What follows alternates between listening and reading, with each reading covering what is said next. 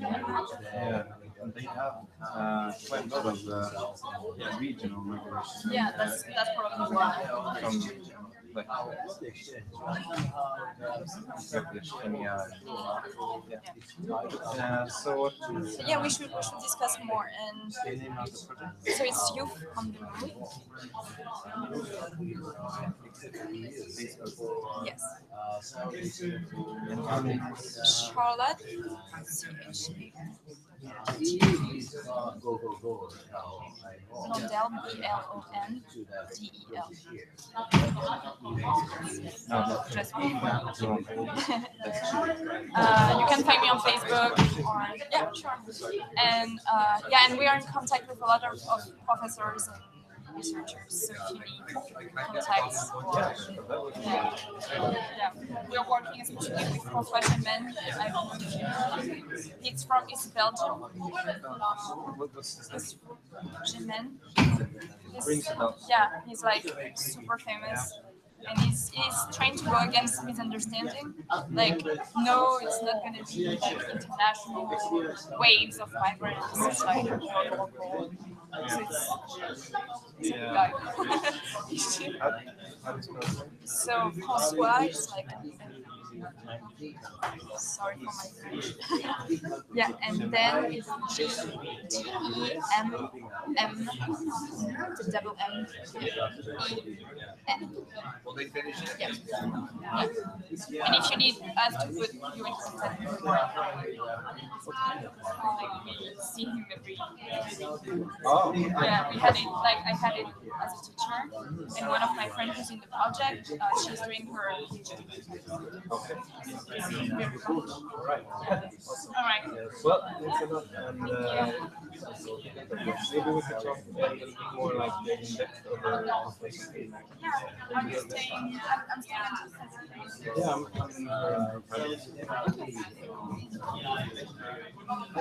Yeah, same.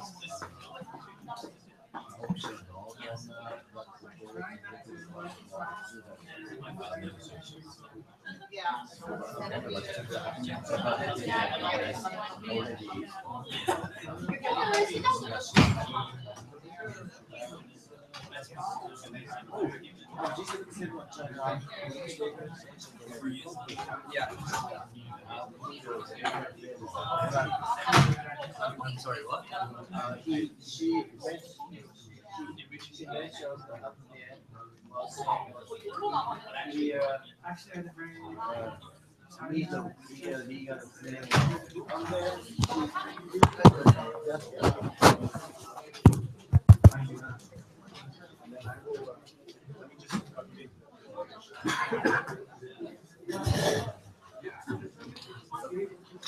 Um, Excuse me. This is the one catch box okay. for the Q and A session. Yeah. I checked the other one, but it, it seems not a work.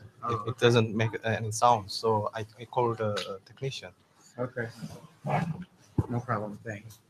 I'm just gonna put it on my computer because I'm gonna put them all on one presentation. Okay. Is that okay? Yes. It's, uh, It's uh, on the top layer. It's called Article 6 on NDCs. okay. So,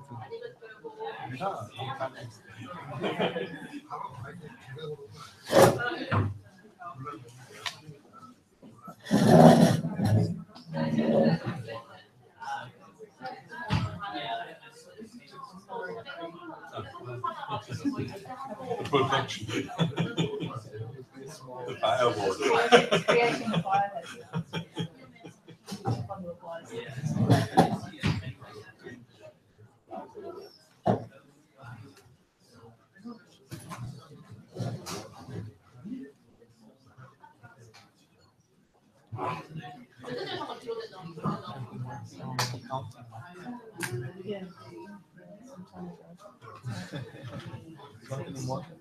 it's, it's, we did a load of, we did a series of papers from. Um, on.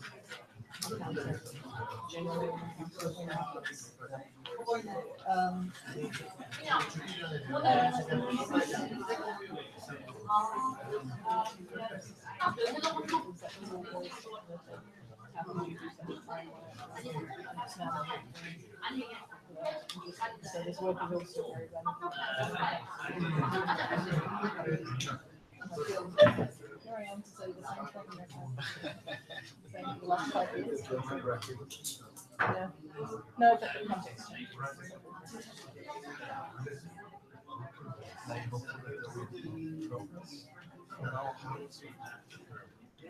changed. Uh, I don't know, each time I see the negotiators, the discussion seems to be some deeper and more.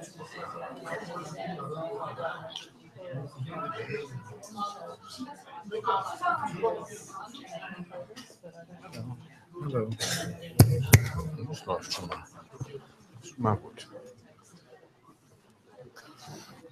Oh, with this one? It, it works, but it doesn't. work.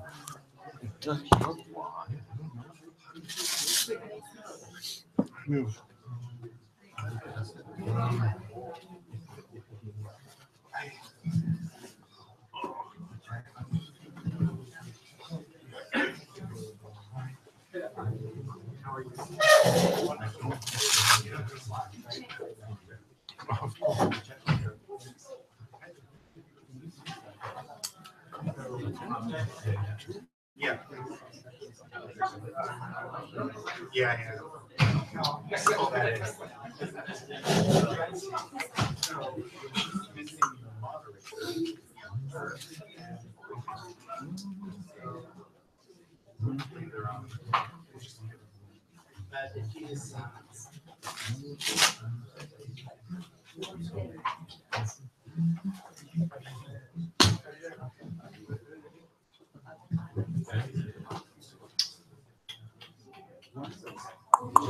So, The whole, the whole line is uh, sad. Sorry? He needs only one. So you- you He needs only one. Oh. That's it.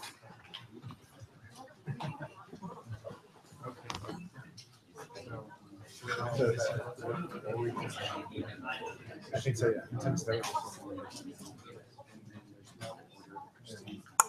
They were expecting,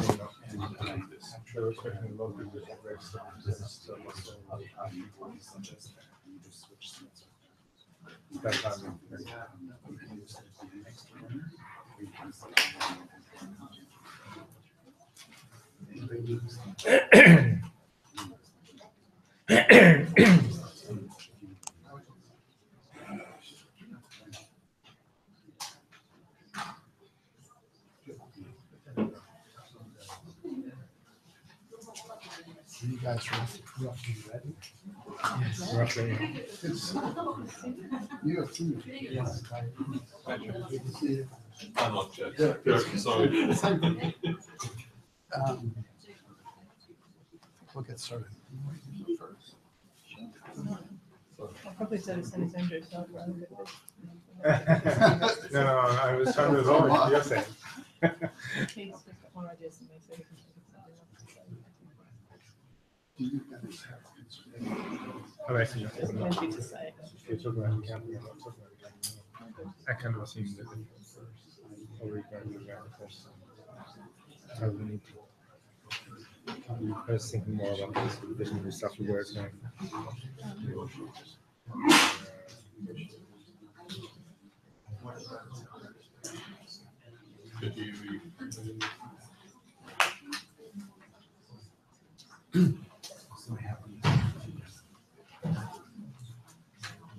Well,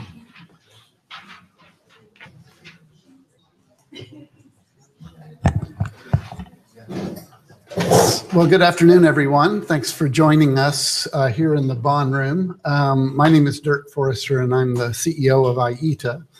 Um, We asked the parties to close the Article 6 uh, roundtables today so that you would come to our side event No, we, we didn't do that. Um, but we are we are happy that uh, those of you that are interested in Article Six that are unable to be part of the uh, roundtable today are um, able to join us here. We're going to have um, a variety of perspectives here on sort of the the thinking that. Some outside observers are giving to uh, the development of Article 6. Uh, we hope to be joined by Ulrika Raab from the Swedish delegation to give us a little bit of a view from uh, uh, more of a governmental vantage point. Um, so hopefully she, I'm sure she's tied up in the other room, but hopefully she'll be able to extract herself and join us. Um, but uh, I guess to, to sort of tee it off, I'll give you just a, a little bit of a preview of um, how IETA has been looking at this and, and just to make sure we're kind of all on the same page. And I think probably all of you uh, uh, are aficionados of Article 6 already and kind of understand this. But the key provisions in the article deal with um, sort of accounting treatment of uh, transferred mitigation outcomes, internationally transferred mitigation outcomes, which primarily appears in uh, 6.2 and 6.3 of that article. Um, there's also a new mechanism to promote sustainable development and emissions mitigation that is uh, uh, appears in Article 6.4, um, and it's got some uh, references to learning from the experiences of the past with the CDM and, and other Kyoto mechanisms. Um, so that that is a, a topic in and of itself that's of great interest to a lot, to a lot of countries uh, in these talks. And then finally, it's rounded out with a, a, a provision on non-market approaches that encourages uh, um, way or uh, encourages cooperation also in non-market approaches through development of some some form of a framework to support those activities. Um, so uh, the reason this is really important in the conversations this week and, and later this year is that this is one of those items in the uh, Paris Agreement that is uh, has a shall uh, verb in front of it uh, of uh, completion of a work program for for the non-market approaches of modalities and procedures for the uh, the new mechanism and of guidance on um, on the accounting treatment. Uh, and that's supposed to be done in 2018. So those of us that are interested in how this mechanism might influence the development of the markets of the future and their connectivity in the future, this is a really important provision and it's important to get those rules right. Um, so you'll know that in these talks this week, there's uh, two days of roundtables that are closed to, to uh, non-parties. So hence you're in this room. Uh, but um, coming up throughout the this week and next, there will be other opportunities for the negotiators to actually talk substance on this and hopefully take things forward so that we get a sense of what the main topics are going to be um, in developing these three areas of work. Um, and maybe by the end of the year, we'll be getting some draft texts collected on how people think they should be um, be uh, sort of uh, fleshed out in words. Um, for for IETA, um, we're really interested in this because we think that the potential for trading of these uh, mitigation outcomes, ITMOs, uh, could be exponentially greater than the Kyoto trading uh, if it's done right. It could unleash quite a bit more investment and also enable us to get at projects that are of a much greater scale. Um, and that's going to happen, we think, through market linkages that have these robust accounting principles. And one of one of the topics that I, I'm sure uh, some of our speakers will talk about is what does robust accounting mean in this context? But for for us in the business community, it means that we want the system to have integrity. We want to be able to understand supply and demand dynamics from the information that's being provided at the UN level. And we want to ensure that there's not the potential for introducing um, uh, sort of any, you could think of it as counterfeit currency into the system, but you want to make sure that the system is robust and assuring that you know where the flows are going and that only good stuff is in, in the system to begin with. Um, we're also quite interested in the new market mechanism or the new mitigation mechanism. Um, it's different this time in that it's available to any parties that want to use it, whether they're developed or developing. Um, we think this could be conceived of as something that's more than mere crediting. Um, crediting could be important for a lot of parties, we think, especially smaller countries here. But it could also be the, um, uh, there's a possibility that this mechanism could be used to quantify a more ambitious program by a country. And you could imagine uh, a smaller country that might have interest in a more of an ETS style system over part of its uh, economy, over certain sectors of it, its economy. And perhaps this mechanism could be a place that that type of a contribution could be uh, brought forward. Um, and it could potentially give it a higher likelihood of gaining fungibility with other systems. Now, there there are some jurisdictions like those in North America right now or Europe or the one emerging in China that are large enough that they may be able to operate on their own. But for a lot of more middle income countries, they might like the ability to connect into a broader network of countries. And this mechanism could, um, could offer some benefits in that regard. Um, we also have interest, uh, again, longer term in the, some of the direct and indirect interests of uh, references to REDD+. Plus. Um, again, looking forward over this issue for uh, the decades that are to come, um, our organization believes we're going to need all of these types of mitigation activities, including REDD Plus as a storage uh, technique, as well as CCS, to be um, accounted for in these systems. Um, so we're interested in understanding how the open architecture of this article could enable that. Um, and finally, we, we like the aspect of uh, this being in a context where um, nationally determined contributions are being reviewed on a regular basis, and that will also give us information on supply and demand trends. We think there are a lot of countries that are interested in using this. This is probably a slide that you've seen IETA produce before, but we've kind of uh, investigated with our friends at the Environmental Defense Fund who are in the room here, uh, uh, which NDCs have sort of expressed interest in use of market mechanisms. And come on in, Ulrika. I already told them you were coming. it's okay. Sorry. Not a worry. Sorry, everyone. Um, but uh, uh, just to say that we think there's a set of countries that are interested in using it and are interested in this being a, a, a part of the way that they make uh, make contributions. And I believe this is my, I'm getting toward the end of my slides, just to say that uh, uh, I think this this actually highlights uh, things that have already been through about 6.2, 6.4, and 6.8. So I'm going to skip past that and just say that at the end of the day, um, we're we're coming to the conclusion as we really think about this internally and have our own discussions with with uh, our member companies and and with governments that this all comes back to quantification and the importance of this tool being something that assists parties in being able to quantify their actions, to measure and verify those. We think that at a, at a minimum should be something that is um, useful for those for tracking those that have uh, uh, absolute targets uh, that are that are connected up through markets. But we also think that maybe as a way of progressively moving in that direction, it could also have the potential that I referenced already of um, a country bringing in maybe a sector at a time and and progressively improving that over time. Um, we also think that um, in order for this these kinds of trading to take place, the quantification is sort of a necessary first element. It's very hard to trade something that you can't count. And so uh, in our vision, uh, this quantification is really something that's required upfront in the system so that we'll understand what's going on, um, market participants, and for building confidence in the system overall.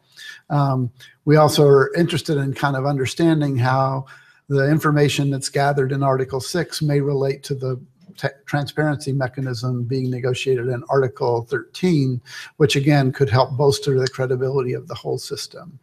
Um, and then our final point is throughout this uh, the Paris Agreement, you see references to double counting and the avoidance of double counting. And, and again, from our perspective, um, you'd have to count to know how to avoid double count. So it all begins with that quantification at the beginning. So I hope that gives you just a little bit of a uh, an overview, uh, at least at, at how IETA is coming at this. Uh, but I think it'd be really useful now to draw in perspectives from other of the panelists. And I'm going to start with Christina Hood from the International Energy Agency. And Christina's, um, uh, well, whether she likes it or not, she's become one of the, the, the true experts in thinking about uh, the accounting treatment and, and how do you assure this quantification. And not all of it is as simple as I've made it sound. So I'll let uh, Christina describe some of the uh, thinking she's been doing on this. Uh, say eight minutes. Okay. Thanks, Dick. Um, so I've, um, at the International Energy Agency, worked with colleagues at the OECD, um, and we do work for a group called the Climate Change Expert Group, which is a group of negotiators from developed and developing countries who meet twice a year um, and talk about technical issues to do with the negotiations. So we wrote a series of papers starting actually in 2011 um, up until 2015, looking at what, what might markets look like, what might accounting look like in some future regime, um, you know, the post-Kyoto regime. And I guess the, our concept of that got clearer as time went on and we got more information about what the Paris Agreement might look like. But um, so there are, for those who are interested in more detail, there's a, a, series of quite detailed papers from the past that I can point you towards on this or that particular issue. Um, so Dirk uh, said, as Dirk said, this is about the quantification of NDCs. So I wanted to focus specifically on that point. You know, is it necessary to quantify NDCs in, in order to be able to account for ITMOs? So um, my answer is yes and no, or yes but. um, as, as um, Dirk said, it's maybe not quite as simple. So certainly, if you want to be able to account for something quantitative, you have to be able to count and see how things add up. So there's certainly quantification needed, you know, somewhere in the process. Um, you could say that accounting for an NDC is the process of comparing your emissions level with a target level, taking into account the kind of unit flows that have happened or the ITMO flows that have happened. So in order to be able to do that accounting, you need to know your emissions in a certain unit. You need to know the ITMO transfers in hopefully the same units and have a target, which is also quantified in the same units. So that is to say using the same global warming potentials or so on, because otherwise it gets complicated if you try and add and subtract and things are not in the same basis. So there's clearly, um, you know, a very fundamental level at which you do need um, quantification. But that process that I just described could be ex post. It could be something that happens after the end of the NDC period. So we've had a bunch of trading and a certain number of ITMO flows have happened. We look at what the emissions were. We add all that up and compare it to the target level. So that could be that um, the, the target level really only needs to be quantified at the end, if you think about it that way. And it could, for example, the target level could, for example, still be a range. It could be quantified, you know, my target because of because my target was conditional, because I expressed as a, as a range in the first place, um, could end up being, well, it's between X tons and Y tons, and then you look at where you got to, and you know, was I within my range or not? Um, so you could imagine it ending up that way. Now, there is a separate question, which is when might you want to or need to quantify before trading occurs? And this is where Dirk said you need to know um, you can't trade if you can't if you don't know what you're trading if you can't count it. Now, um, this to me is where I get into the yes but. So there's two quite separate situations as I see it. So one situation is where the thing that you are trading might actually be surplus in the NDC itself. So one country is overachieving its NDC, it's got some surplus, and it wants to sell that to another country. In that case, I would agree, absolutely, you need to know you know, what your NDC means, you know, what is its quantified number, but you would also need to know, um, have confidence that you're actually going to be meeting the NDC so that, you know, you're not overselling. And as a separate environmental integrity question, you would actually want to know that the NDC was set um, in a robust way so that it's not a lot of hot air that's being sold. So there's certainly quantification needed in that case where you're going to be trading the NDC surplus itself, but the quantification is, isn't the whole story. It's necessary but not, not sufficient. There's a, another situation though um, that could occur, it seems to, to us, seem to us with trading, and we actually think that this is, would probably be the bulk of what happens. And that's actually trading between mechanisms or use of units from mechanisms. So accrediting mechanism and ETS and so on. So this is what I think of when I see the language around cooperative approaches and the Paris Agreement. When you have that sort of a system, it's actually the um, the rules of the system itself that give you that tell you about the environmental integrity of the units and it tell you about the quantification. They tell you about how many units have been issued and what the baseline is and how that was derived and and so you can see that units are real and you know exactly what's going on. So it's giving the environmental integrity the quantification and it's also giving the um, the the infrastructure for supporting that such as the registries and so on are all part of those those mechanisms themselves. So in that setting you can imagine that you would have high quality units because the, the mechanism that they're coming from has got really robust baselines and good governance and good review and all of that stuff.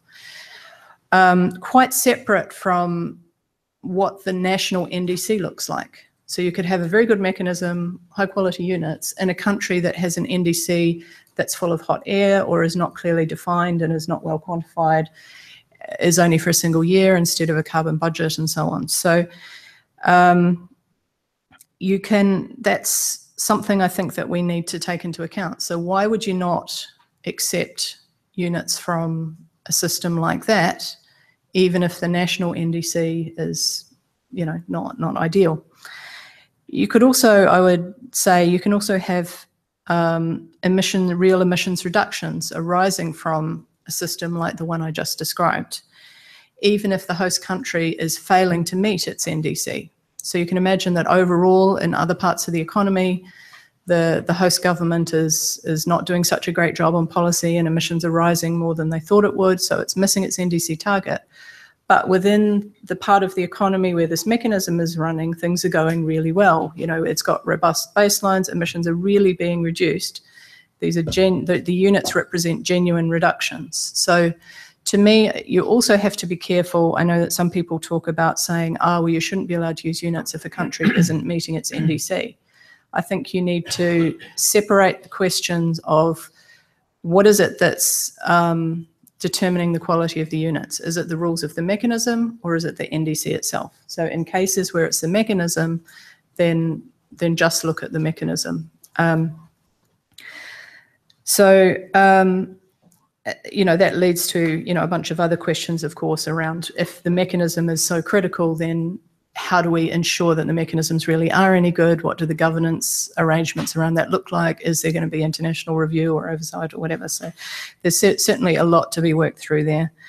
Um, just, I wanted to mention just finally, if you wanted um, a, a little bit more very basic detail on this. I did a workshop with some climate negotiators in Ottawa back in February where we actually did some worked examples of this kind of thing. So looked at just sort of toy examples of trade between party A and party B in the context of different NDC types and just to see kind of how, how it would work out. Now, I um, don't have any hard copies of the workshop report, but if you're interested, you can come and ask me and I'll email it to you. Thanks. Thanks, thanks, Christina. And you managed to get away without exactly saying what was robust, but we'll come back to that in a few minutes. And um, Ulrika, um, I already introduced you before you came in, but I was going to come, right? I knew you were going to come. I, I have faith, full faith and confidence in you. But um, uh, I'm, I'm also conscious that you uh, have a negotiator badge on, and I know how that goes. So I sort of feel like I had to call on you next, just in case you get called away. Uh, would you like to go next, or have you caught your breath?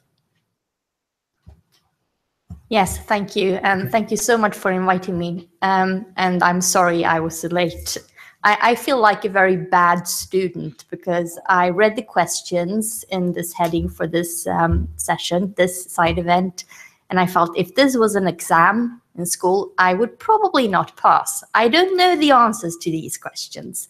Um, I probably didn't take the preceding course or didn't do that well enough to to get to the very detailed on, on quantification because I'm I'm somewhat earlier in my thoughts and my progression, but uh, being after Christina, I feel somewhat encouraged because right now I'm reading a lot of what she has written and other uh, academic reports, trying to read up on on uh, on the topic.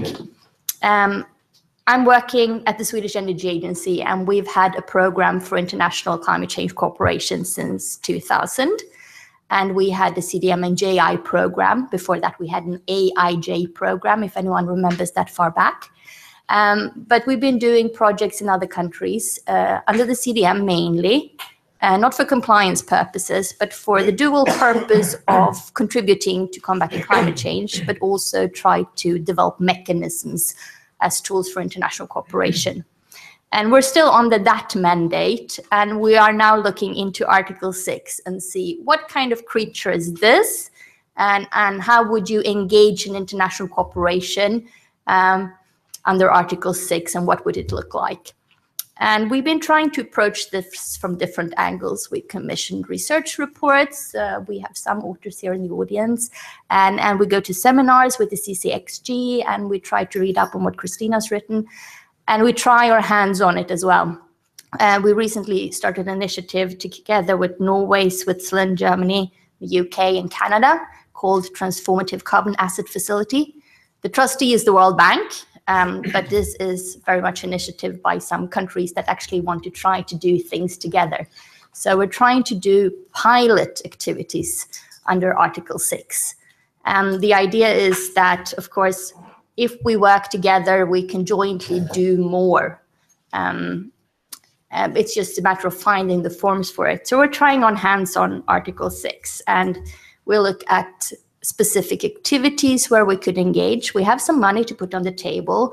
Um, we won't wait until the rules have been fully elaborated, but we hope to try our hands-on uh, activities together with other countries and bring back whatever we learn, good and bad, into this process and to help to develop the rule book.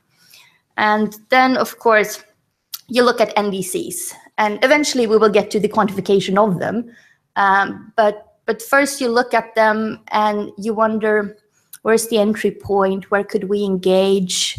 Um, what would be the good country to cooperate with? And we we agree that this also needs to be someone who's quite ambitious. But how do we know if someone is ambitious? Um, can you question about the NDCs? Is it ambitious? Um, uh, are you allowed to find some metrics of making your own assessment on it? Um, how do you find a good area to cooperate? You probably can't take on a whole NDC for implementation. For a piloting activity, you might actually pick one area, one sector. And then you look at the NDCs and you find that although everyone has them, um, they're not really that detailed, a lot of them. Um, they're not broken down on sectoral level. And even if they are, there is room in, for interpretation and the different underlying assumption and even different global warming potentials, sometimes with a lot of things that actually vary.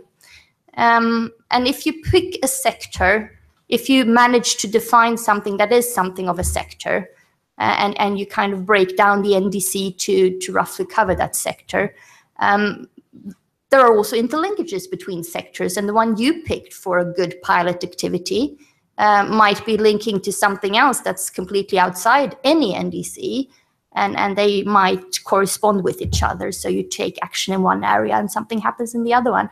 And, and, and, and that is actually the starting point or where I am right now together with my colleagues. That's where we're having the discussion. So it's more like we are on the topic on where to draw the borders of the universe we're considering in, in the pilot activities. And, and, and I think as a next step, we will get into quantification, um, but actually defining what we're looking at.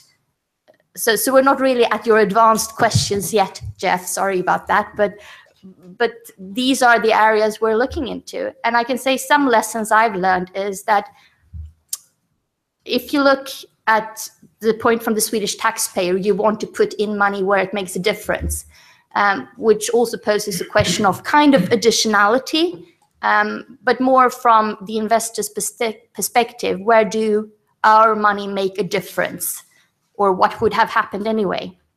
Um, you're concerned about quality, and one risk that has been highlighted here is that, that the host country, who's very ambitious, might not want to sell off credits. Well, that's a risk, but there's also risk as a donor or a financier or as a buyer. Use whatever word you want. Um, you don't want to engage in something where you will be later be blamed that that wasn't very ambitious. That was actually a lot of crap. It was hot air. So, so you do want to, to ensure quality and somehow. And, and in my experience, it doesn't really help just to say that this is conditional or this is unconditional, this is inside the NDC or this is outside the NDC. You still get to the point where you want to know more and you want to go down into number crunching somehow to find out what would be the likely development in this area. Uh, where can I make an intervention and how would that development then change? And would that change be permanent or would it be just a one off thing? That's another question. If you look at the NDCs, they cover fairly a short period and they will be updated. Great. They will be more ambitious over time. Also great. But also that means that you have a moving target. If you quantify an NDC, that's a snapshot of reality at a certain point in time. Uh, although that point in time might be five years, but that's still pretty short if you're aiming at two degrees or 1.5 degrees at the end of the century, which is a bit longer time frame. And you want to have a trajectory where you're heading in the right direction also in the long run. So you're looking for an activity that you will probably put some money on the table and you will probably acquire some ITMOs that will probably be generated within a NDC like time frame crediting period if you want to call it that but it should also give a development that in the long run leads on a low carbon development path on a good trajectory towards 1.5 or 2 degrees on a global level. And that's pretty tall order. So there are many parameters that come into play, and quantification certainly will get to that point, and it is crucial, but it's not the only one. Um, that might even be the easier part of the problem um, the uh, geographical or the economical boundaries you draw for your activity and the time period you are considering um, are equally important and perhaps much trickier to get to grips with. Um, that probably doesn't sound very optimistic. I was determined to sound on a sound off on a positive note, so I'll tell you about um, what we've been considering doing is actually to, to look together not only on the NDCs but also on the LEDs for countries and and kind of try to get a grip on this um, very elusive aspect of transformative change. And also said in TCAF this transformative carbon asset facility when we're working together with prospective host countries or implementing countries that we would probably use the time frame also to our advantage and say that we will do something together that has a certain longevity, um, kind of sustainability or a long trajectory. And there will probably be uh, the uh, uh, purchase of ITMOs from the beginning of this longevity or this activity that takes on for several years um, but there will be a transition. So the kind of financing or the, the buying of ITMOs will be the beginning of a long story. But this will actually be taken over by the host country and the continued implementation in the longer run will be on the host country side. So that is kind of a split you can do in time um, to try to get over this kind of gap of the NDCs being quite short. And also, if you look at the outside of the NDCs, well, what's outside now might not be outside forever. If you have better data, um, which you might actually get if you sell the credits to someone abroad, you might get a better measuring system, you might get a better data, and you might get a better confidence of wanting to include it yourself in your future NDC. So I hope that was fairly positive. At least the intention is to fairly be positive. Thank you, Ulrika. And tran- transformation is always, you know, it's always challenging, but also always inspirational too. So, um, so it will be interesting to hear the results of uh, of some of those investments as that um, new initiative gets underway. So, um, I want to bring in uh, a, a slightly different perspective now, which is Andrew. I'm coming to you, so get ready. Uh, to get Andrew Howard, uh, who should be no stranger to uh, to folks in this room, but Andrew, uh, until fairly recently, ran uh, the mechanisms unit here. Has a long history with it. Ran the negotiations uh, here at the FCCC, but now is uh, in private practice with Koru Climate, his consulting firm. Um, has do, been doing a lot of thinking about. He's one one of the many authorities that have been involved in running one of the systems in the past, uh, but to bring some of the lessons of that and think about what might be uh, uh, good structures for the future. So, Andrew, the floor is yours. Okay, thanks a lot, Dirk. Um, at the outset, I have to say I, I, I talked this morning on accounting already, so I actually thought I would avoid that topic here and, and pick up on um, some other parts of, of the, the, the topic, trying to be a good student. Um, but do transformation because that's what Ulrika did. So, Okay, I'll, I'll, I'll rapidly change plans and steer clear of that. Um, so, I, but I wanted to give a few thoughts on on where the show might go in in the sort of medium long term, I, I, and and I, I guess that's partly because it's pretty hard to say at the moment. Uh, I think we're in a phase which is, I hope, uncharacteristic in, in the in the medium term already. You know, we're at a stage where there's lots of ideas on the table. Uh, everyone's throwing them around. It's all quite abstract and conceptual, and there's lots of people throwing jargon around. And I don't know how familiar people are in, in this room with the with the jargon, and I- and I guess it is quite normal at the moment. It, it is very much in the formative stages, and you know, I think we told ourselves shortly after Paris that um, we're doing this the second time round now. We did the Marrakesh Accords, we did Kyoto, and this one should be easier. But I, but I'm I'm not sure it is necessarily uh, easier to um, create a building from a previous building uh, than it is actually to build it from scratch. You know, there's a there's a renovation going on here as opposed to a pure new new build, and that's not always uh, quite so so simple. So we're in a stage where I think it's difficult to see where uh, things are going to go forward. So I wanted to give um, a, a, few thoughts on that. Um, so you know, I'm going to go on the wire a little bit and and say that I kind of expect this current phase that we're in, this sort of uncertain phase, to keep going uh, probably until around 2021. Now, I don't know if that's pessimistic or optimistic. I don't think it's going to be a black and white situation. I don't think we're you're going to have the current sort of uncertainty right out until 2021. But I think it will take uh, us a little bit into the first NDC period to really get a, a more comfort on on where all this is. Um, and I, I think as well that you know we should have the rules according to the schedule. We should have the rules for Article Six by the end of next year. Um, but of course, from that point, some of the uncertainty that we're currently experiencing around the Article Six rules will actually just migrate into uncertainty uh, within the rules which the governing board for the Article 6.4 mechanism is developing within the rules that governments are developing at, at a national level. So, you know, I, I think it is going to take a little bit more time before things things really settle down. But I think through that time we will be seeing um, an emerging picture of of the way Article 6 and cooperation and markets uh, will look. So, you know, some thoughts about what it might look like in 2021, give or take a year or two. um, you know, I, I think there's there's certain milestones which will have been met. We we will have had the the rules for Article Six by that point. That's going to be a major milestone. As I said a moment ago, that's 2018 if all goes well. Um, we'll also have seen that the the Paris Agreement will have started at that point. Um, and countries will have made more progress and become more comfortable in what they're actually going to do under their NDCs. Um, because, as Ulrika was just saying, a lot of the NDCs are not very precise at the moment. Um, so it's going to take a bit more time for those countries to go through those planning activities and have their um, plans also for their um, cooperative approaches themselves under Article 6.2 to have those to have those in place.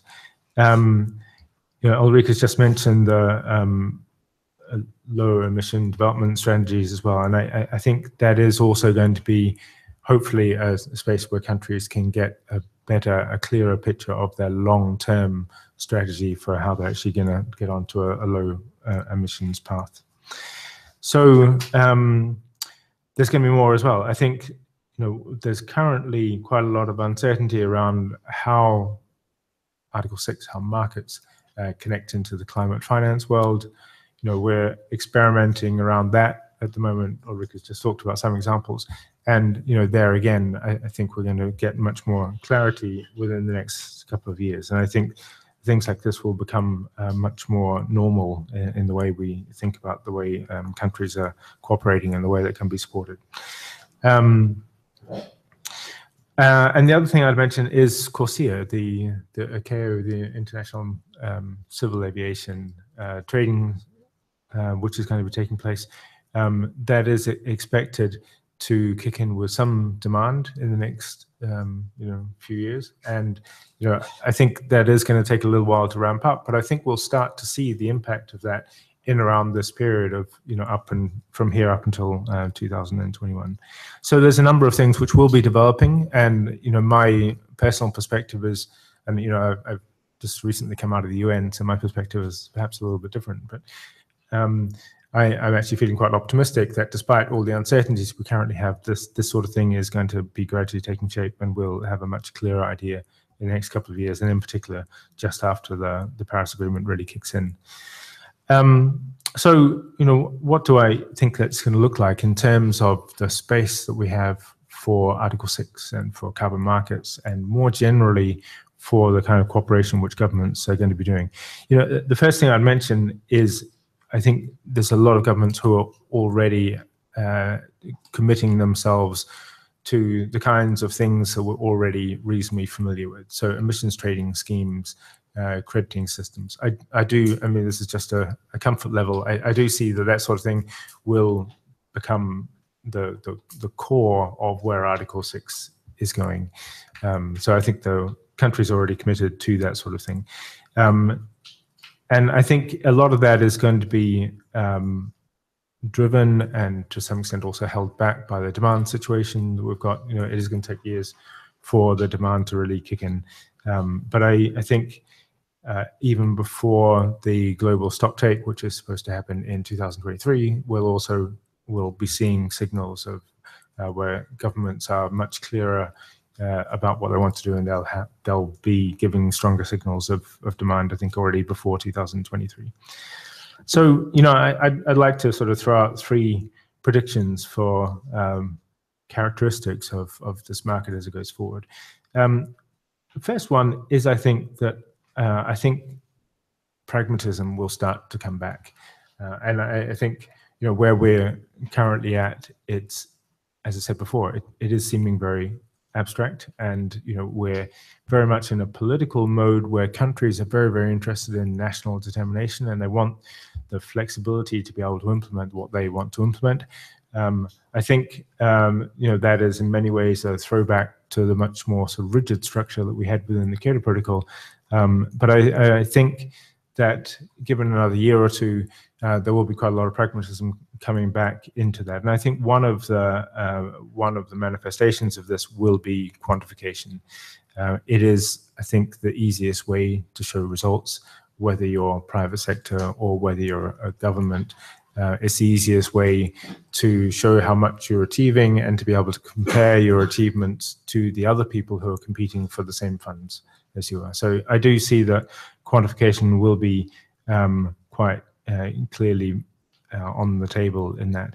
And I think the other word I'd throw in there is harmonization as well. I, I think um, we will see more of a move um, in the next few years towards uh, countries beginning to say, well, you know, it's great to have the freedom to do what I want to do, but uh, actually, I really want to be able to do that with other countries, and I, I want to be able to do that with the private sector, which is uh, knowing the rules of the game. And I, I think that there will um, be more of a drive towards uh, some more commonality between the rules and the infrastructure that you uh, is shared across countries. And I think, you know, some of the examples of that are going to be things like um, the MRV rules of, of crediting systems, in particular um, methodologies, uh, some of the things that we're familiar with already. I think I can see some of these things coming through again. Um, accreditation, so the third-party verification, all of these things. I, I think this this could well be a kind of a modular structure which is developing where some of these services are actually provided from one place and could be used by multiple countries in in the market systems that they're putting in place. So um, more pragmatism uh, and more harmonization, I, I think, would be where where it's going. And I think uh, we're already starting to see signs of that. You know, I think to highlight one example um, within the negotiations, there's more and more countries who are actually saying, well, you know, uh, in Paris we left open the route to be able to transfer any kind of um, metric, you know, a mitigation outcome in any kind of metric we want. Um, but in actual fact, we're all really interested in CO2 equivalent. So I, I, I do see that that's one sign of, of where we'll be heading. Um, second prediction is, um, I think with CDM activities, I, I think some of them, um, going on the line here, I think some of them will actually find their way into Article 6. I think some of them will find their way into the Article 6.4 mechanism. Um, probably the bulk of those that do actually migrate will probably end up there. Um, and I think there may also be some which find their way into some cooperative approaches, some crediting systems which are run by national governments um, under the 6.2, the Article 6.2 framework. Um, I don't know how many it's going to be. Um, obviously, their uh, countries are very aware that the more CDM activities that are brought in, uh, the more that diluting the already rather scarce ambition that we have within the NDC period from 2020 onwards. So uh, I'm not saying it'll be a lot, but I do think that the governments will actually go through a process of saying to themselves, okay, which are the kinds of mitigation activities uh, which are really going to help us kickstart Article 6 um, which ones are going to bring in scale and bring in volume in a, in a fairly quick pace, and which uh, ones are going to benefit the, the way that markets move forwards. Um, so there may well be a selection of certain types. Um, those kinds of decisions are always very difficult to make in the politics of this place. Um, so maybe there won't be a selection of different policy, uh, different activity types, but maybe there'll be an approach to bring more of them in, but to allow them to credit less within the new system. So there could be some sort of discounting arrangement which is applied to C CDM activities which do come in. And um, I know that one of the topics on the table is to what extent uh, reductions from CDM, which are already happening now, before 2020, how many of those could come in? So the recognition of early action. And, uh, and I think um, here, I think countries will probably be very cautious. Uh, you know, I, but I think that there could well be um, some early recognition, early recognition of early action given to some of those projects were, which are deemed eligible to get into Article 6 in one fashion or the other. So, um, you know, I, at the same time, what we're seeing more and more clearly is that uh, it's uh, given the amount of um, demand, the amount of energy that there'll be in the crediting kind of market around that time, it's probably worth trying to concentrate that within the crediting processes under uh, Article 6. Um, and I could imagine that CDM itself, as we know it today, would be coming to an end. Um, and as I say, those projects and programs would be getting into Article 6 um, where they're allowed in. So my, my third and final prediction is um, uh, is that there may be um, more of a, a, radical change in the way we look at what constitutes a, a, project or an activity. Certainly, I think there'll still be space for kind of traditional idea of, a, of an activity or a program of activities, and, and certainly we'll be looking at whether sectors and crediting at sectoral level can come in as well. But I, um, I think one of the issues that uh, the, that the crediting world at least will need to deal with is whether um, it's necessary that there should be uh, a, uh, a market funding which justifies an entire activity. Um, you know, maybe what we'll be looking at more is that uh, the the market funding tweaks the direction of other investments of other activities which are going on already, and perhaps giving an incentive to to those other existing investment streams to change the direction that they're taking, rather than uh, trying to uh, see an entire activity as being driven by a particular market investment and then needing to uh, identify particularly how the, the activity and the baselines and everything else work in that regard. So there may be a slight, at least for some parts of um, the crediting, uh, there may be a slight relaxation of the kind of current mode of, of work and to, to think more about how these kinds of market um, finance issues um, can contribute along with a mix of other um, efforts and, and finance to, to bring about uh, quite significant mitigation. Um, so, uh, you know, I could imagine that there'll be more along the lines of um, private and public partnerships. Um, you can probably see governments themselves getting more into government to government uh, uh, cooperation and then bringing in market funding in order to to be uh, an extra complement to that in order to to leverage and make the whole um, mitigation activities much more effective than they would have been other, otherwise. So you know I, I think maybe we'll be looking at the kind of quite a new paradigm for the way we do markets and and perhaps in a in a less strict way from what we've seen so far. So there's just some thoughts on how we may be going forward. Great. Thank you, Andrew. Um, so I want to, uh, and that's that's really useful perspective, and took the risk of actually making some predictions. So thank you for that. Um, I'm going to ask Patrick Bürgi uh, from South Pole Carbon to go next, and and uh, Patrick is going to bring a perspective of a company that's actually been in these markets for a long time. It's developed a lot of project and projects and can kind of give a window on at least uh, how the project developer community is viewing this stuff now. So Patrick, the floor is yours. Eight minutes, right? Yeah, that'd be good. Thanks, Dirk. So as Dirk, uh, oh, and I have some slides, Yeah. probably one of the few ones. Uh, um, yeah, so for, for those of you who, who don't know uh, the South Pole Group, we started in 2006 as a CDM project developer and uh, diversified quite a bit uh, since then. We had to diversify because the market collapsed, uh, basically. And one of the many things we're doing today uh, is public advisory. Uh, and what we have been doing lately is to leverage our experience with the CDM, also voluntary carbon markets, to try to pilot activities under Article 6. So right now we're working for a project uh, with EBRD and, and the Spanish government where we are developing um, a CDM-based um, crediting mechanism in Northern Africa. Uh, and the idea would be to uh, do this under the CDM uh, in a scalable way using uh, POAs, uh, issue credits already pre-2020, and then find ways for the country to embrace that crediting mechanism post-2020. That could be either in the form of integra- integrating that into domestic climate uh, policy. So as we see in South Africa, linkage of a carbon tax to a, a- an offsetting scheme. Uh, maybe they could use it for Corsia, so to generate credits and, and sell it under Corsia. Or another option would be to take this CDM-based mechanism and convert it to, into something uh, under Article 6.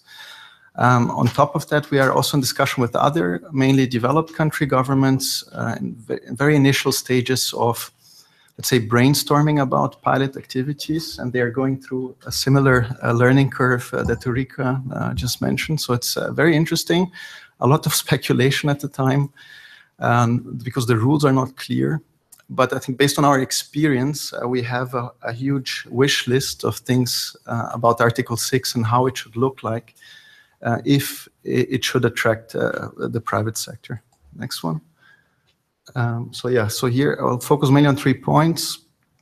Uh, the role of the private sector um, to, to raise ambition, lessons learned from some of the existing market mechanisms, and then I'll uh, end with some concrete recommendations for Article 6. And the work I'm presenting here today is part of a publication for, for this EBRD Spanish uh, project, and it will be online in the coming days. So there is a link at the end of the presentation if you're interested. Have a look at it. I, will, I think I'll bombard you with uh, a bit too much information. Uh, so if you are interested and would have would like to have a closer look, um, have a, a look at the link uh, at the end. So um, why do we need the, the private sector? So first of all, if we look at the commitments in all NDCs, uh, we are on a path to go for a temperature increase of 2.7 to 3 degrees. So we need increased ambition in order to meet the 2 degree or 1.5 uh, degree target. Next one, please. And if we look at the level of investment required, um, this is information from the International Energy Agency. Um, it is estimated that we will need in the energy sector alone about $1 trillion um, a year uh, in investments, going from the current investment level, which is the, the, the which are the red bars, of about um, three to 400 uh, um, uh, billion uh, a year. So we need a massive ramp up in, in investments over the next uh, 15 years. Um, and the hundred billion uh, dollar figure that that was committed under Paris is just a drop in the ocean. I mean, it's uh, it's it will get us somewhere if we manage to leverage at least ten times more private money than is coming from this uh, mainly public commitments under the UNFCCC. So I think the message is very clear. Without finance from the private sector, we won't be able to achieve um, a two degree target.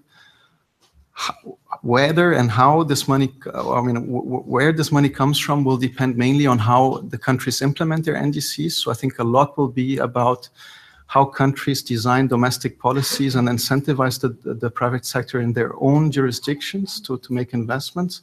But some of it can also be linked to international mechanisms. Next slide. So um, Probably many of you are familiar with the last study by the World Bank on the states and trends of, of carbon pricing.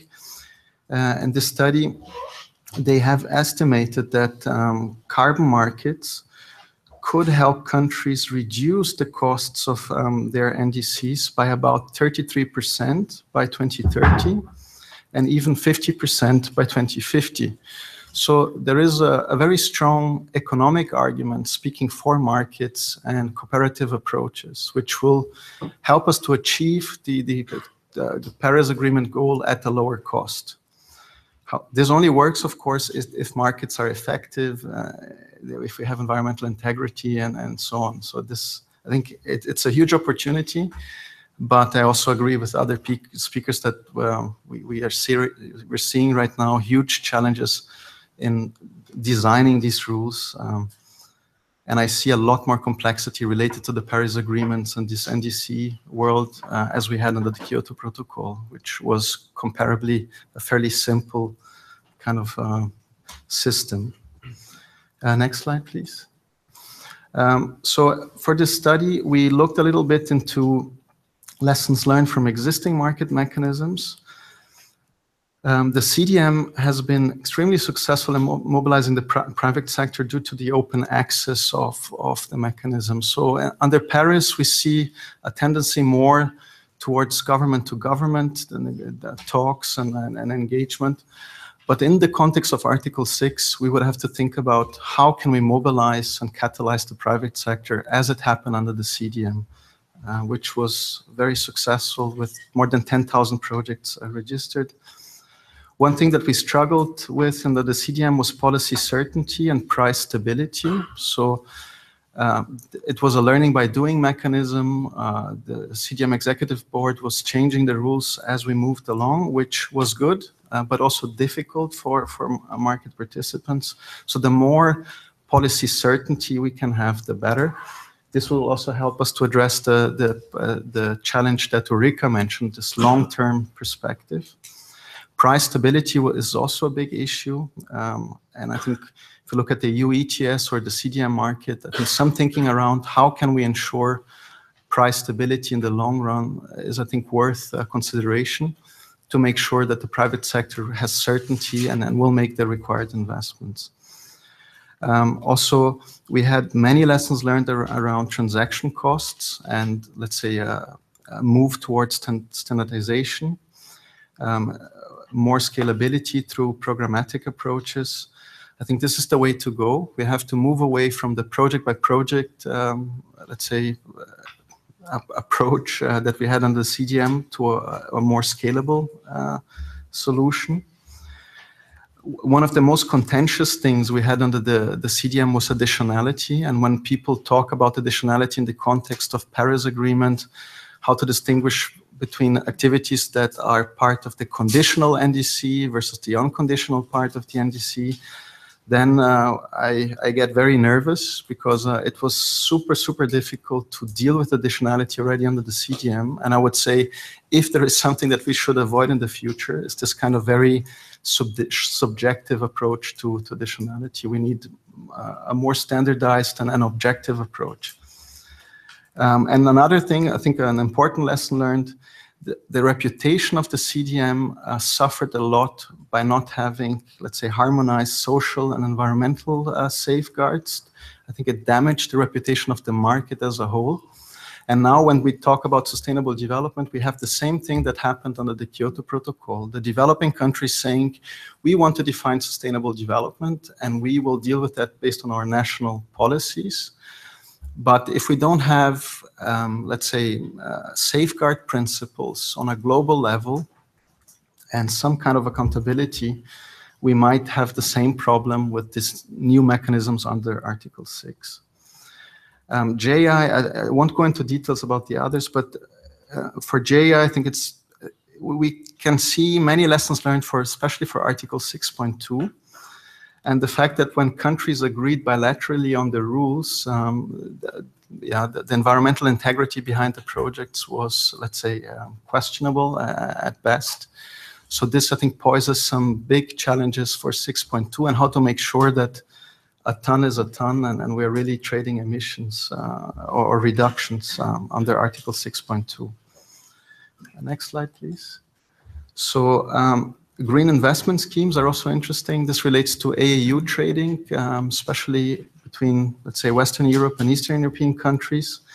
And there, the, those trade of emissions at, at the national level, which could be comparable to some kind of ITMO transaction, they were often linked to non-market mechanisms um, as well. So I think it might be interesting to look at it again and see what have we learned uh, from these green investment schemes in the past. Voluntary carbon markets are also, I think, an important source of knowledge, um, especially when it comes to sustainable development. There were many uh, standards like the gold standard, the social carbon, the CCBS, that pioneered the, let's say, standards around quantification of sustainable development impacts. And I think a lot of these lessons learned could be, uh, trans, uh, let's say, transferred to the Paris Agreement. Next one, please. So um, when we thought about um, recommendations for the Paris Agreement, uh, we were looking at it from a private sector perspective and came up with a range of, let's say, criteria that we would regard very important, as very important, and then started mapping how do these criteria relate to some of the main topics under the, the, the Article 6, like, for example, governance, accounting, uh, overall mitigation, sustainable development, um, and in the in the blue, on the blue side of the chart, you see the the kind of things that the private sector would like to have, like certainty, accessibility, simplicity, efficiency, um, then autonomy, impact, integrity, and sustainable development. So it, it looks very easy, but uh, yeah, the devil is in the detail. How to, you know, uh, flesh out the rules that will make everybody happy, including the private sector, is a, is a huge challenge. And I would say, in my opinion, Andrew's prediction of 2021 is uh, still very optimistic. So I, I would give it, uh, I would push it even further back. Um, um, and we so these are my final slides. Uh, we came up with 20 recommendations. So I won't be able to go through all of them in, in detail. Uh, they will be in this publication. And they read a little bit like a wish list from, from a private sector perspective. And I will just highlight a couple of them. So um, we need policy and price stability to achieve effective carbon prices. we need a sufficient degree of standardization measures for determination of emission reductions. So if we look at baseline setting, MRV procedures, the more we standardize and the more we go from, let's say, uh, um, a, a system that can be easily scaled up and, and avoid the project by project and, and very subjective assessments, um, the better. In, under the CDM, um, it took sometimes about four years from, let's say, project registration to the first issuance, or, let's say the start of a project until someone got actually money from, from the CDM. So I think making sure that the lead times uh, in, in these mechanisms are as short as possible would be also important. Uh, the migration of eligible CDM JI activities from uh, into Article 6, I think would be also important to, to consider provided, of course, we don't, you know, oversupply the market from day one, and provided these projects fulfill certain basic criteria under Article 6. Um, and I think I would love to see an AIJ phase, um, as we had before the CDM. Unfortunately, nobody's really talking um, about it, so I think we would be good to, you know, try some pilots, um, experiment a little bit before we uh, flesh out all the rules.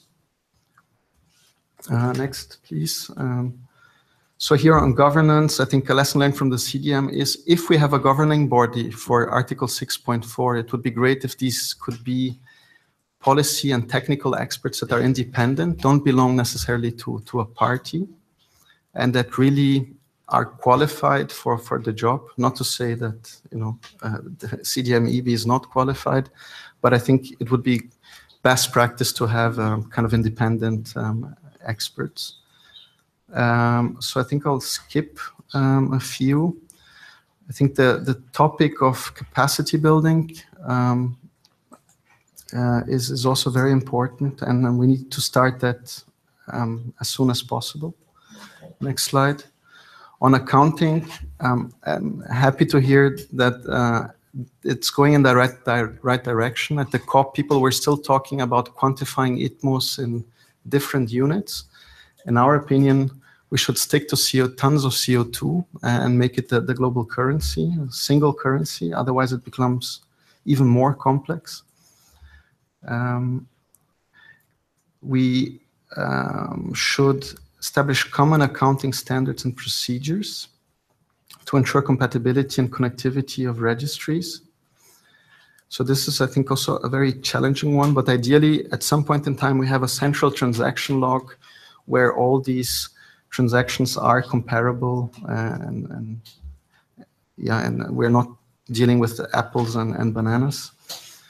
Um, and uh, point 13, the principle of seller liability. If a country sells uh, ITMOS, but is not really reaching its NDC, it should not be able to retract uh, those sales. So, make it um, like take the units back and say, yeah, I, I, didn't mean it that way. I mean, if the units are gone and transferred, they, they are gone.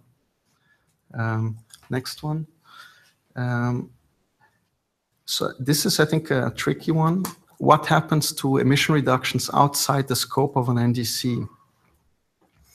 Um, in our opinion, these things should be, by definition, governed under international oversight, so ideally 6.4, for the sake of environmental integrity. Um, so, and uh, now jumping to overall mitigation, if we apply exchange rates and discount rates, and that issue is, I think, highly debated, we need to make sure that we have certainty and predictability in the way these, let's say, discount rates are applied, uh, if any. Uh, and now moving to this last slide. On sustainable development, here, I think it would be a huge opportunity to use the SDGs as some kind of a guiding framework. This is the first time 190 countries under the UN agreed on a definition of sustainable development, and it would be great if we could use it. However, we should, you know, um, make sure that this doesn't um, doesn't make the, the, the mechanisms too complex or, or too um, expensive in the application. So I have to find a way to do that. But referring to the SDGs might help us in harmonizing assessment of sustainable development. And on top of that, we would advocate for universal no harm safeguards to avoid the reputational damage uh, that we had under the CDM. And last but not least, uh, when it comes to the non-market approaches, uh, we would like these to enhance and, and complement the, the, the, market approaches. So they shouldn't be completely detached. Ideally, they should try to find some synergies um, among each other. And, then, and here you see uh, a link. It's not online yet, so you have to wait a couple of days. Uh, but under the link at the very bottom of the slide, you'll see the publication with these 20 detailed recommendations. So thank you very much. Thank you, Patrick. So um, we're going to get one more perspective and then we're going to open the floor for discussion. So I hope you're thinking about some questions or comments that you'd like to make. But that was very useful to get a set of concrete uh, recommendations, Patrick. So thank you for that. Uh, so next we're going to hear from uh, Werner Betzenbichler, who is here with us from uh, the DOE Forum. Uh, the, the, designated operational entities have been the provided the verification function that has really brought a lot of the veracity to the system as we've experienced it thus far. So Werner, it'd be great to get your perspectives. And I think you have slides as well. So I'll click on. Thank you. So if we go already to the first slide, so thanks for the invitation. And when I have been invited, so I wrote down some bullet points for some issues I want to discuss with you because most of my previous speakers have already touched a lot of things and there are only a few remaining aspects uh, with relevance for the DOEs, uh, the ones who are also busy in this market besides the project developers or investors or financiers or whomsoever. So uh, what are our views? So regarding similarities and differences in the from Paris Agreement to the pre-Paris Agreement situation. So under Article 6, so from the first point of view, we are fine. We are very happy. So DOEs are mentioned in the regulations.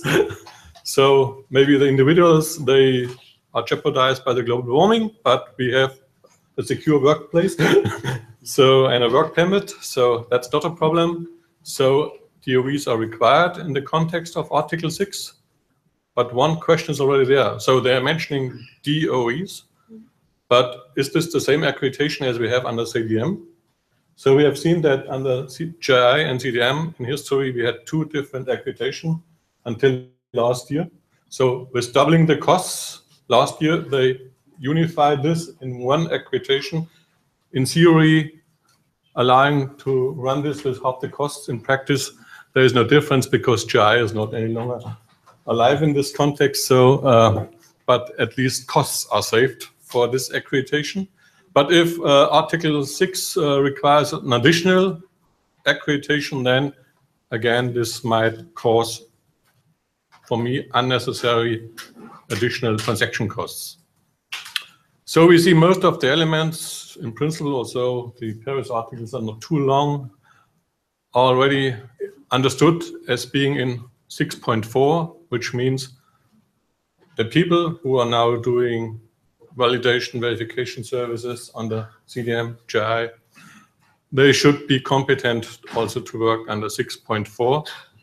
So I also have to warn you. So this group of people is strongly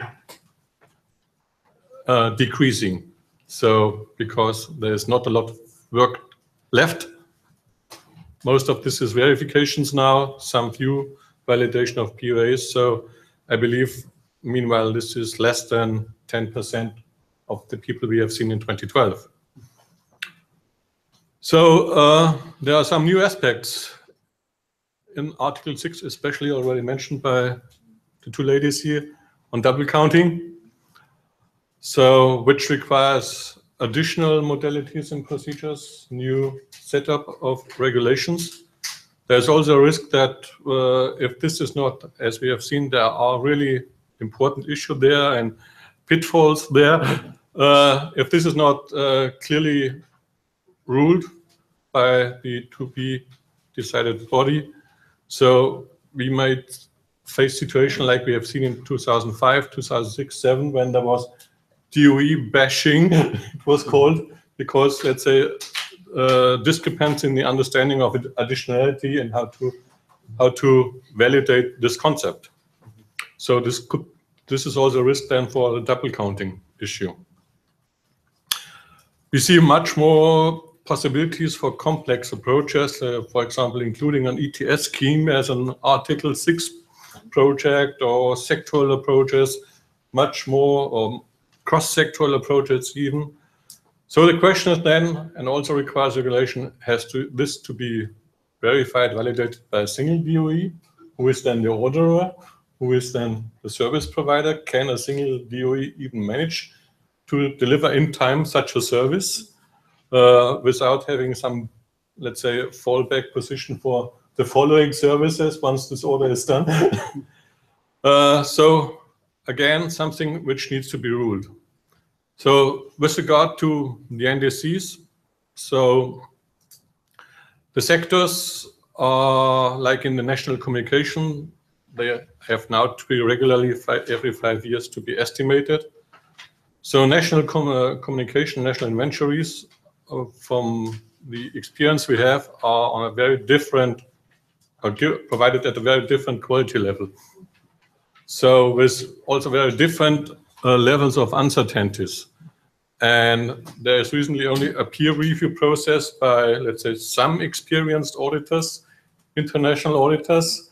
Uh, the question is whether this, then expanding this process to 150, 190 countries, are there enough resources? Or can these resources be amended by the private sector, private auditing companies? So this might be a chance for us. uh, and how to ensure then that this that there is always the quality in this process. Because if you go to many governmental authorities, let's say being responsible for inventories, there's a lot of change in this personnel. And maybe they are not long enough in a position to assist this process also with the, the peer reviews. Uh, therefore, this might create difficulties.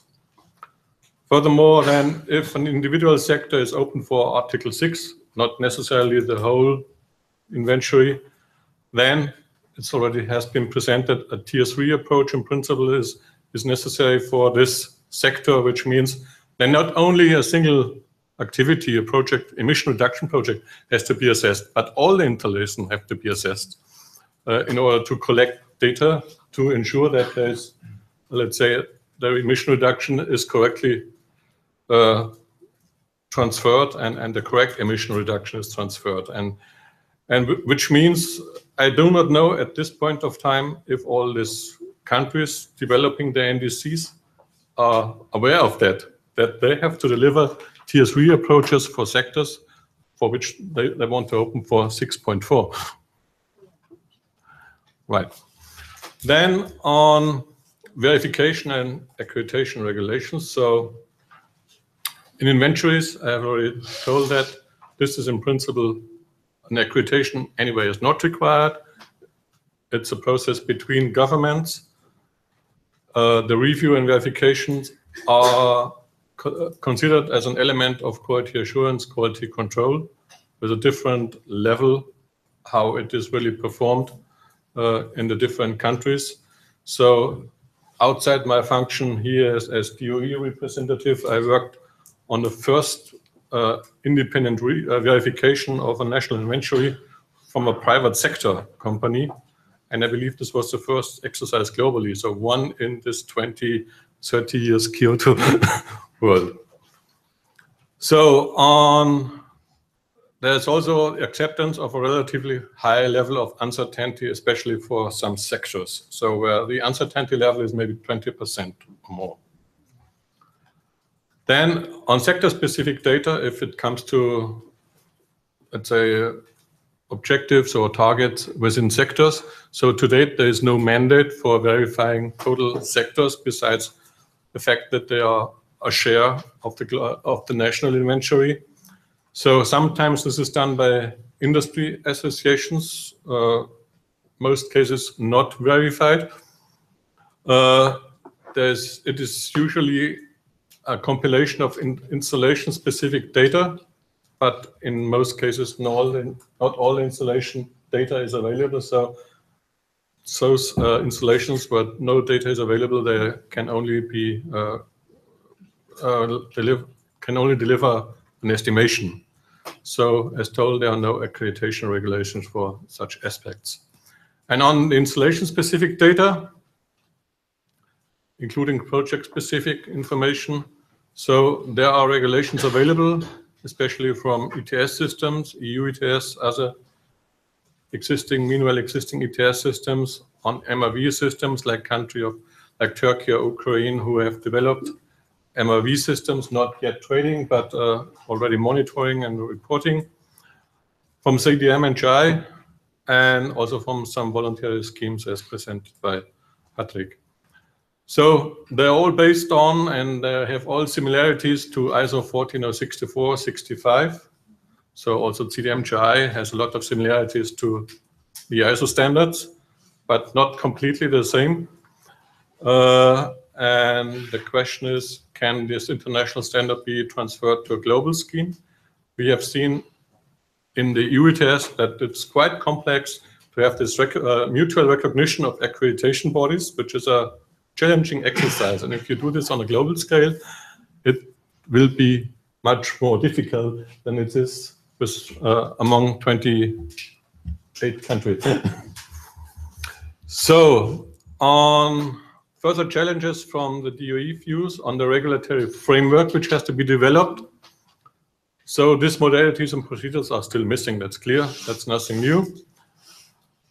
And they have to be applied then most likely under national legislations. So this might be a difficulty from, for many negotiators from many countries. We have this issue of mutual acceptance. So if only two countries make a system jointly uh, jointly meeting their target. Um, so this have to be accepted maybe then finally by a third or many most other countries, and this is uh, unsolved so far. And furthermore, we have the open issue: what is preferred? do we want to go with a global accreditation system like we have in CDM JI? Or where do we need a global accreditation system? Or do we want to have local accreditation systems? So we have seen in the CDM 10 years ago, many developing countries have tried to push to have own DOEs in the home country, while there was no market for DOEs to be developed in this country. So what shall I do with two projects in my home country, in my host country? uh, they will not survive there.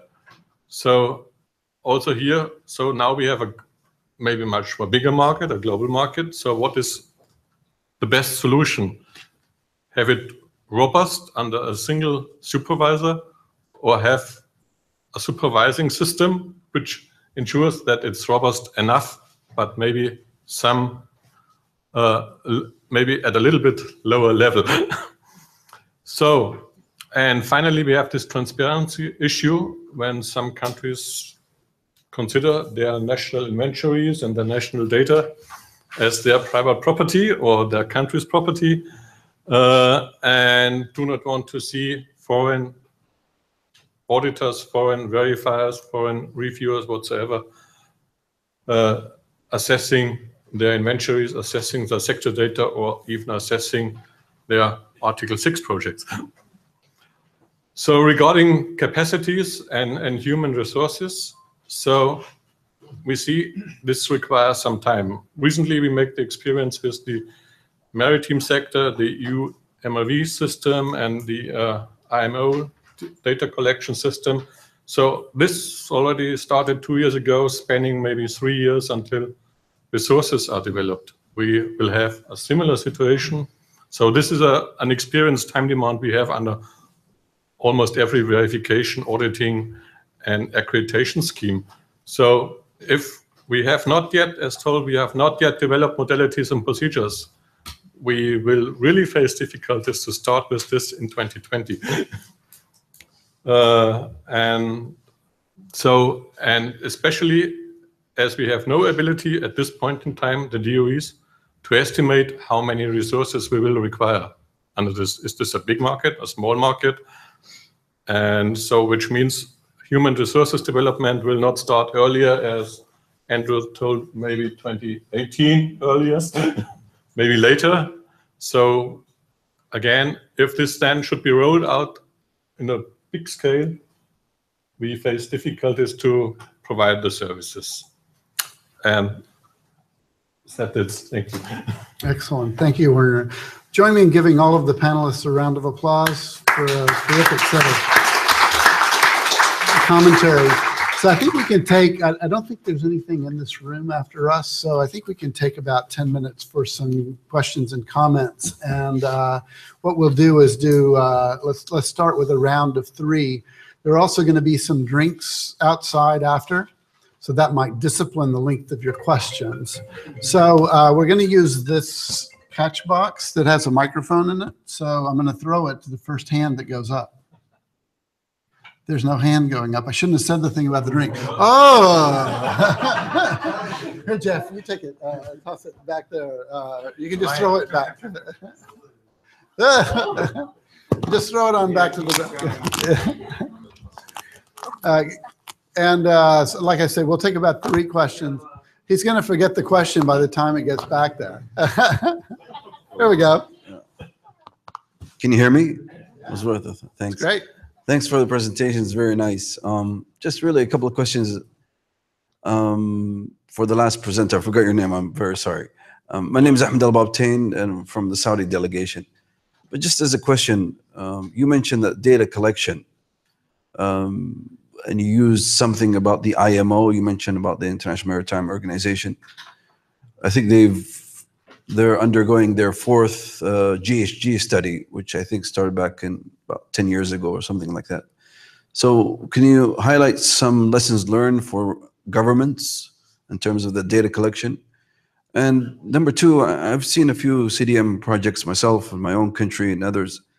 This issue of uh, what you just mentioned about sensitivity of some of the data and they don't want to share, for example, production or something like this.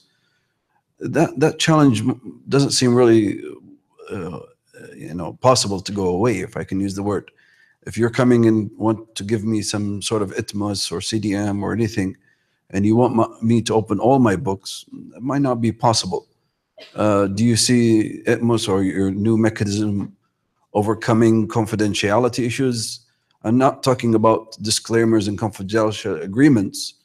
Okay, they're all valid, but we all think that maybe you can share it by somehow leaking somewhere. But is there any robust mechanism of not sharing uh, sensitive data for people or for agencies or for entities or for countries that want to approach this? And thank you very much. Sorry for taking so much time. That's good. Thank you. Thank two great questions. Now, someone else have a question.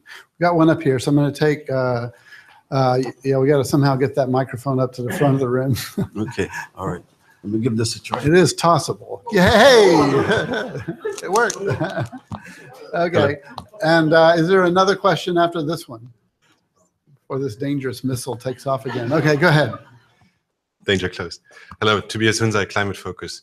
Um, thank you so much for an excellent set of presentations and speaking in terms of likelihoods in this time of uncertainty and uh, transition.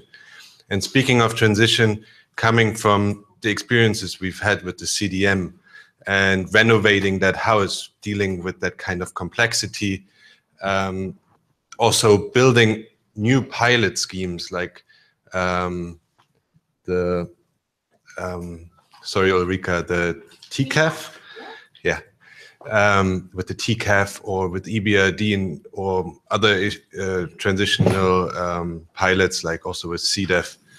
Um, so we're building on that CDM experience, also with the CDM infrastructure and assets.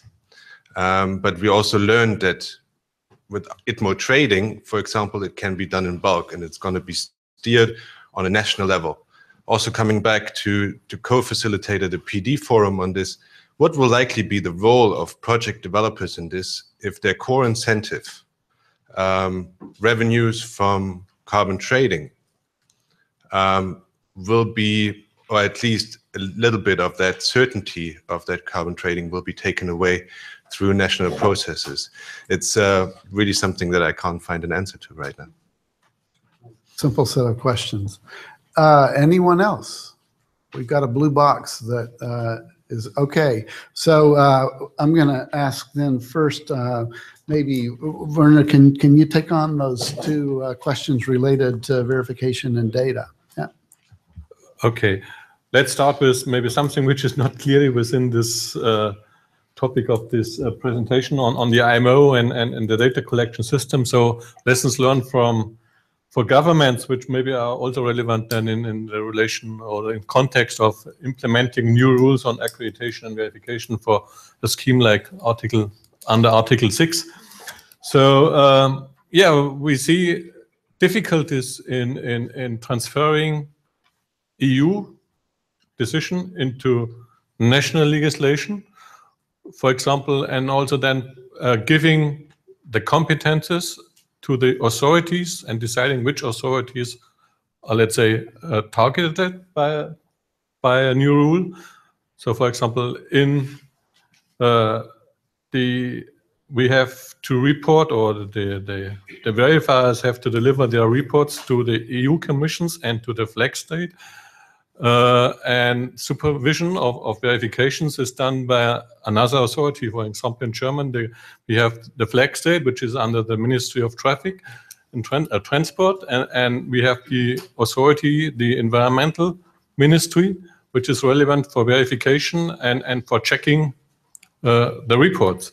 So uh, there is not yet clear how this will, let's say, work and if there's any interference in this work.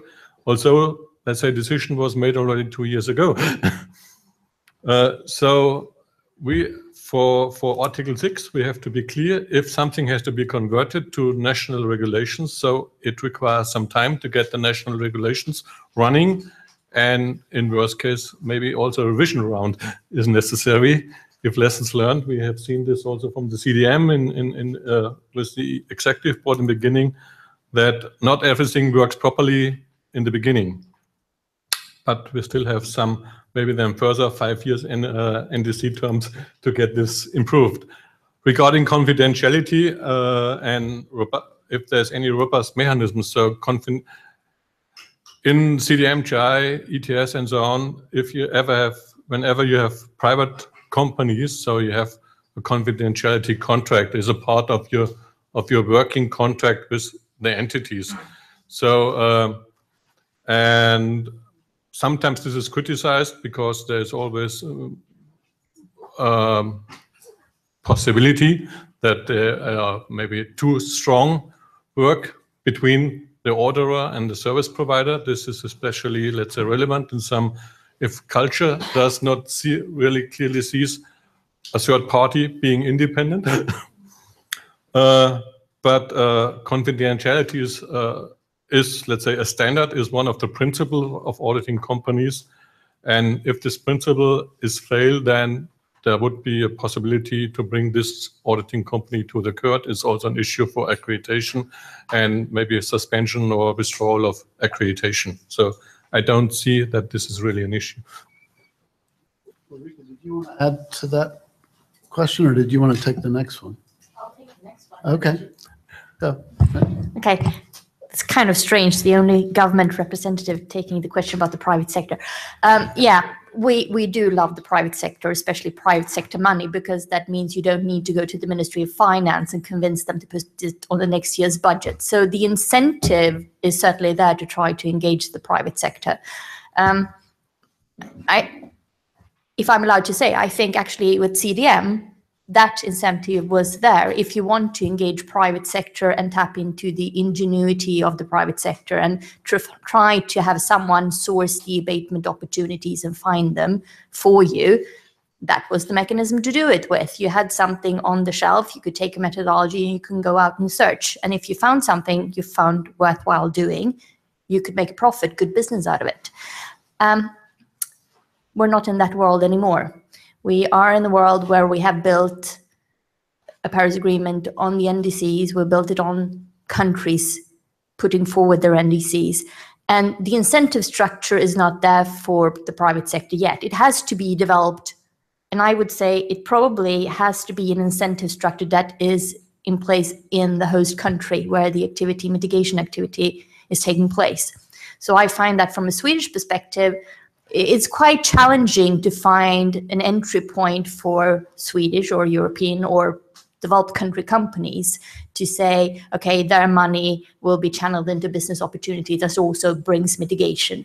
That is a complicated issue. And we have commissioned so many reports on this, and they come up with the answer it's complicated. Um, we've been looking at it from a slightly different angle lately, and this is actually also in the discussion about doing things under Article 6 and piloting that.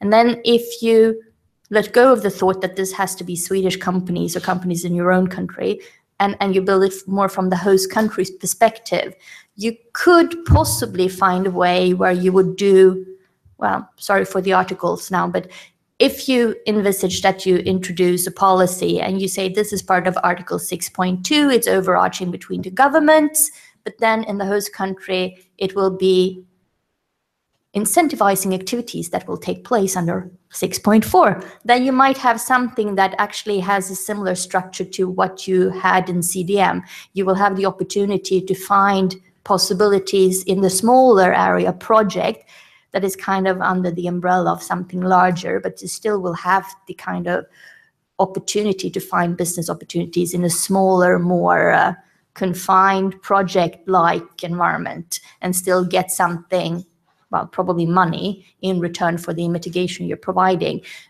But it, it, it doesn't come spontaneous. It takes a lot of uh, crafting, and I'm not sure it will work. Uh, but nonetheless, we are now on this path when we're working through NDCs and, and, and government to government, which brings its own benefits. But certainly, we lost some of the things that we did have under the CDM. There is no point in denying it. Patrick, um, you're a project developer, so how do you see it?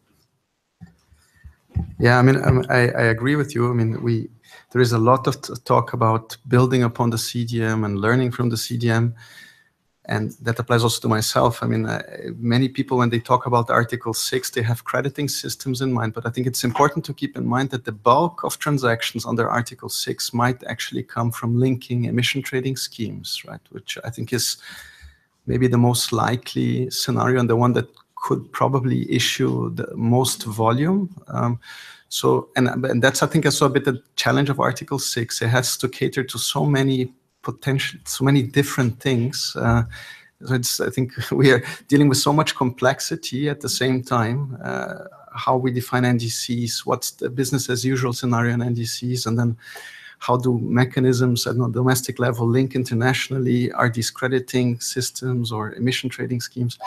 So uh, it's uh, it's very very complex, um, and we, to be very honest with you, if we as a project developer, if you would have to bet on, let's say, significant trading going on under Article 6 um, in the form of crediting mechanisms, I, am very skeptical right now. And we are just saying, let's wait and see. Uh, the rules have to be defined first. And my expectation would be that at the earliest in 2021, we will have, you know, uh, some substance and could maybe prepare. Um, and the sad thing about this, and this applies to the private sector, uh, like companies like ours, but also the DOEs, also capacity in the DNAs of the host countries. A lot of the know-how that was built up under the CDM is already lost. And yeah, and I think we, if it would start to move now, maybe we could keep in place some of it, but I don't uh, think that that will happen anytime soon. And my hope would be that crediting would be in place soon and, and that mainly LDCs maybe could uh, benefit from it. So if we think of cookstove projects, water filter projects, all the things we're doing now in Africa under the CDM or voluntary markets, I still see a huge potential for that. And my hope would be that we would see some of it under Article 6. One important thing to keep in mind is also the uncertainty we have on the Paris Agreement is also having repercussions outside Paris. If we look at CORSIA, for example, or even voluntary markets, many people are you know, starting to ask, what do we do with double counting under CORSIA or voluntary markets? And and the, the uncertainty from Paris Agreement is now we're running a risk of really, um, let's say, yeah, the demolishing basically voluntary markets because it's not clear how to deal with these questions. And the buyers of voluntary credits, they are insecure. They don't know how to deal with it. Nobody can give them a straight answer. So we, we see there's a, that there's a huge threat also to business we are doing outside Paris. So we would, if there are any negotiators in the room, we would urge everybody to do it as quickly as you can and, and have some certainty. Otherwise, you know, the, all the experts will find jobs elsewhere. It's a good, good uh, point to close on. Thank you, Patrick. And um, not, not just the capacity of the people, but uh, it also takes time to put these projects together. I thought you made a really good point about that earlier and the lead time. And if negotiators are thinking about wanting supply in place in 2021 for Corsia, you need that signal well in advance of that to raise the money and get the approvals done. So this has been a, a great discussion. Thank you all for joining us. Uh, we'd love to continue it informally. There are uh, drinks just outside, so please join us for a drink and join me in one last final applause for the panelists. Thank you. And, and the last thing is, uh, there's the there's the catch box. Uh, so we'll put that back. And if you want uh, information on uh, more information on IETA's views, uh, Jeff has some of our uh, recent papers on this. Thank you.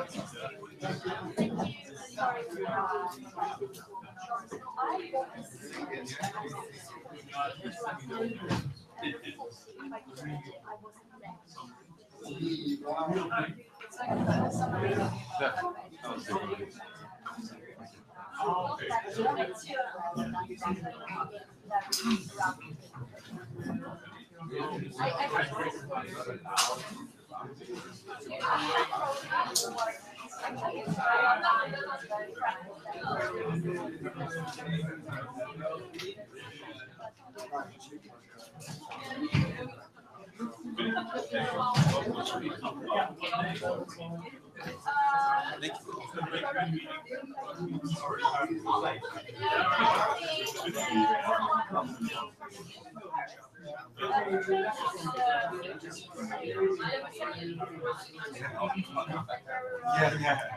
Just, can I get, oh, of course.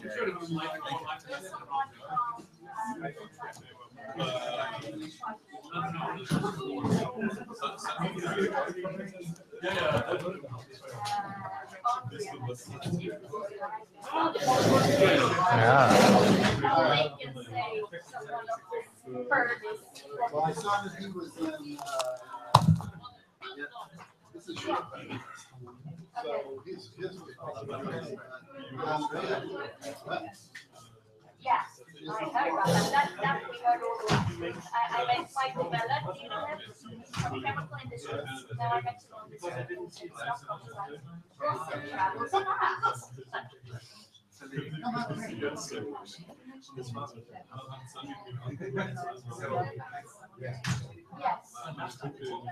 Okay, September we did. Yes. Yes. I mean, I could, I could get it over.